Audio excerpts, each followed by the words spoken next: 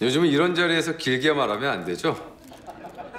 긴 얘긴 산행 홈페이지에서 보시고 지금은 장차 저와 함께 로라 구두를 이끌어 나갈 새 인물을 소개하겠습니다.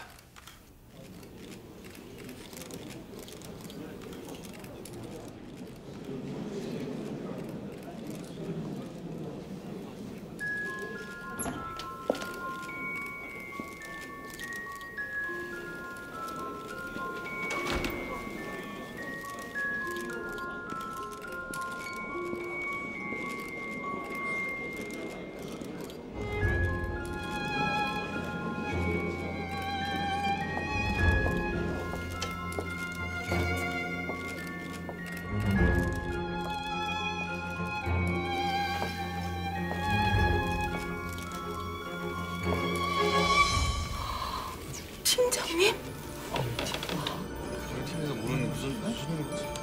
로라 구두 새 공동 대표 김재마 씨입니다.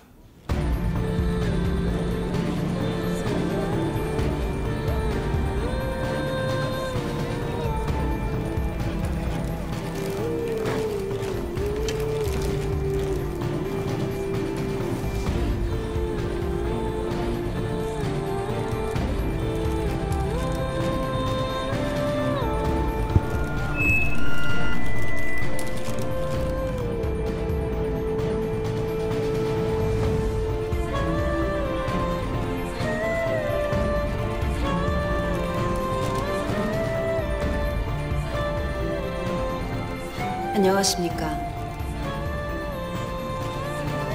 로라 구두의 공동대표